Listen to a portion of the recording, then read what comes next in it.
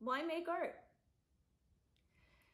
That might be the biggest question museums ask people, art museums anyway.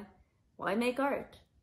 We don't ask you directly, um, but when you walk in the door and you see art there, you might wonder, why did the person make it?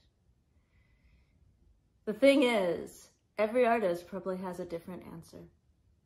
If you walked in and you asked every artist, what, what was the reason of this? What was the purpose of doing this work? Many of them might say, it's a job. Uh, for a long time in history, art making was a job. It was the way you made your living, and a lot of artists um, hope to make a living that way. Some might say, it's because I really feel like it's in me, and I need to express this, and I, there's nothing else I can do. I have to make art.